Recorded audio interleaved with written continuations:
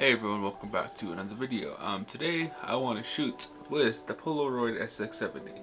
Um, I know I shot with my Polaroid SX70 sonar. Um, I shoot out all the time, but I don't really shoot with this one that much. Um, I just wanted to see, test run it out and see see how it shoots. Um, I've actually shot with this once. Uh, I, I do know that the, the light meter, um, it is different than on my SX70 sonar um, these pictures tend to come out a little darker, a little more than my uh, 670 Sonar One Step. Uh, I'm not sure, not sure why, um, but usually um, I know Polaroid on their website, or well, I think it's still under. Um, but anyways, yeah, I, I, know they say to keep it at uh, one third of a stop um, with their film. Um, but this with this camera, I did that, and the photos came out like really dark. So I tend to keep my uh, my light meter in the middle, just right there as you can see it um, because the photos come out really dark if I turn it to the dark side um, like Polaroid suggests um, which is another thing really. Um, I know Polaroid's like making some of these tips you know they're like oh do this always with this camera or with that camera. Um, but I think uh, you know the thing is is you really have to get used to your camera. All Polaroids aren't the same.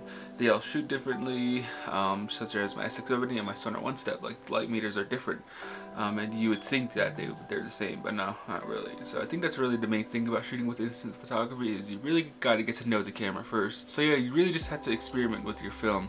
Um, that's what I've been telling people recently. Um, people have been um, coming up to me asking questions on how to uh, perfectly adjust the lighting condition or how to get vibrant colors. Um, really, yeah, you just had to experiment and I've gotten help. Uh, I got a lot of help along the way um, from when I first started shooting and that's, what, that's really what I'm doing, just giving help to those people. And believe me when I say you're gonna get a lot of failures because you are.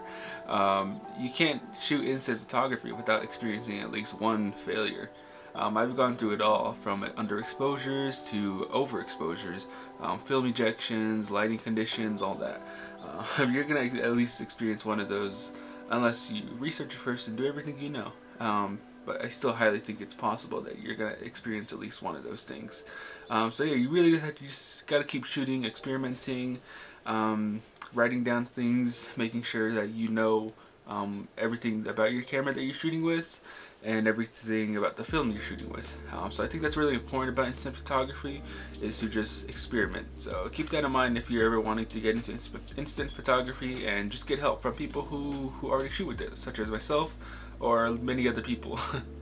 so the Polaroid SX70. Um, I do have a film shield for it, as you can see right here, which is that the frog tongue, the frog tongue um, that um, keeps the, the film away from light when it's ejecting out of the camera. Um, and I am going to be shooting with regular color SX70 film. Um, yeah, this is made in 120, so about six months ago. Um, this is when this was made, so hopefully the colors are still nice. Um, it should be, so let's get shooting, I guess. So about the Polaroid SX70, it is just a regular SX70.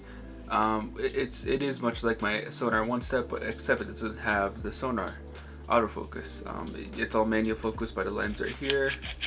As you can see it, hold on, the lens, hold on. Yeah, the lens is adjusting once I do that. Um, other than that, it's pretty basic. You know, you got your light meter, the shutter, um, and you have your viewfinder on top. As you can see it right there. Um, so yeah, let's go get shooting with this.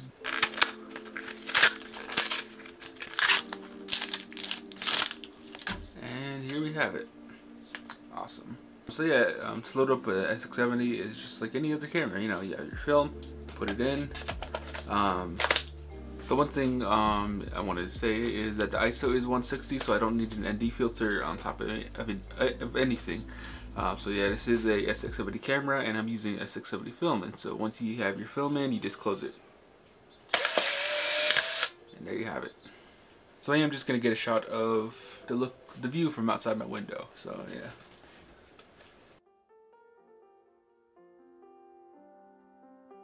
Alright, I'm gonna take I'm gonna try and take a self-portrait. Um, I know these things weren't meant for taking self-portraits. Or maybe they were. Or maybe they were. Uh, who knows? You get to shoot with it when however you want. Um,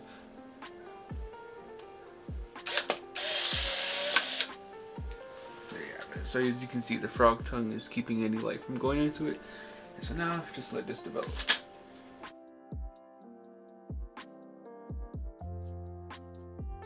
And now I'm gonna get a picture of the slowly dying sunflowers.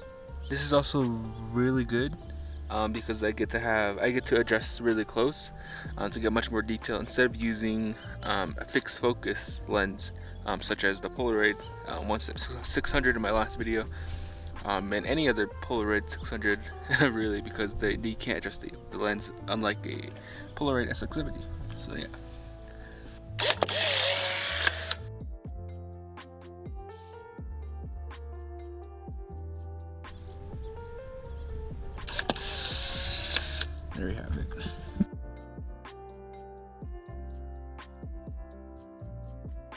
actually going to take a picture of this uh, just to see how vibrant the red is on the new Polaroid film. So yeah, let's get to it.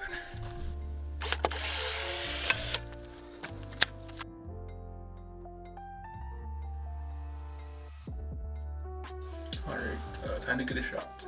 Um, also, um, you guys are probably wondering what this is for. Um, like I said in my last video, this is actually to keep the film door closed because there's actually a part in here that's broken that can't keep the, the film door closed. Um, so hopefully it's somewhere in here, um, sort of like a latch, and so it won't it won't keep it closed. I have to use tape, so that, that kind of sucks.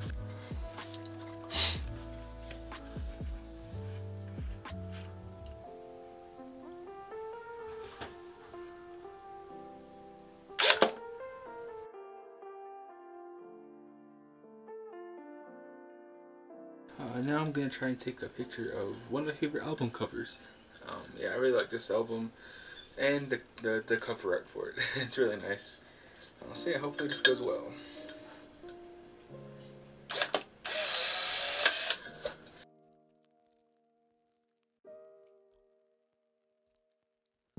For my last shot, I'm just gonna get a picture of the sky. Because why not? Should be good.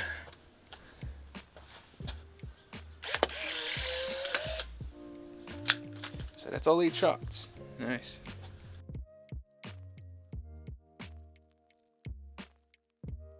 So I just got done shooting with the Polaroid SX70 and I like some of the photos really, um, but some of them do have, they could be better. um, such as the one with the leaves, uh, or I took a picture of the tree. Um, it obviously um, focused on the sky in the background rather than um, the, the leaves itself. Um, but other than that, um, I, I, guess it's it's all right. It's, it's still cool, I guess. Um, but yeah, I think my favorite photo of the pictures that I took would actually be the one with the mirror portrait. Um, I like this one a lot. Um, I really like the how sharp it is um, with, the, with, with, the camera. And yeah, I think this one's a personal favorite. So yeah, I definitely have a lot to learn about this camera. I still have to shoot a lot with it in order to, to, get, to get really better photos, better quality photos. Um, but yeah, uh, I don't know what else to say about this camera other than it's nice, you know, it's nice to have around, but I'd rather shoot with my Polaroid 670 sonar. Um, but I kind of just wanted to shoot with this camera to show you guys um, um, how the picture quality comes out. And yeah, I think it's really nice.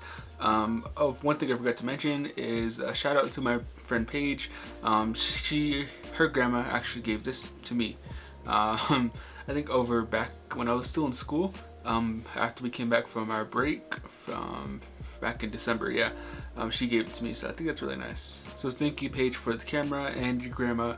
Um, it's no surprise to some of you that she's new. She's not new here. Um, I definitely, I did a video about her back when I was still in school in January. Uh, I can roll a little clip right here.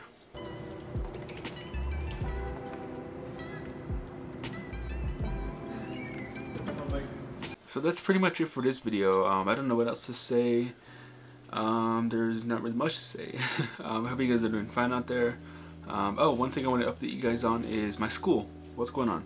Um, I don't even know if I'm, I'm going to go back. Um, they're only using 50% uh, of the capacity of the dorms over there and they're prioritizing it to some students. I mean, which suck. It kind of sucks a little bit, but um, whatever. If I stay here it's cool too because um, my friends they're getting an apartment um, somewhere near where I live uh, like an hour away and I could they said I could live with them uh, for some time not all the time. Um, but yeah I'm really excited to do that to do that. My best friend Zoe that's who her and my other friends are getting an apartment together. I think that's really nice you know we get to hang out. Um, it's It's sort of like living on our own, something we've always dreamed of. Um, something we've always we, we've always looked forward to when we were like in high school. And so I'm really excited for that. Um, and so hopefully that happens. Other than that, I think that's pretty much it. So yeah, thank you to each and every one of you who are making me go, um, keeping me up and running for you, by you guys watching my channel. You know, just keep on sharing it, keep on enjoying it, and I hope you guys are doing well out there. Um, I don't know what I'm to do for next week's video. I might consider taking a small break, um, but that's not usually me. um, but anyways, yeah, that's pretty much it for this video. So I guess I'll see you guys in the next one, and have a good day. Later.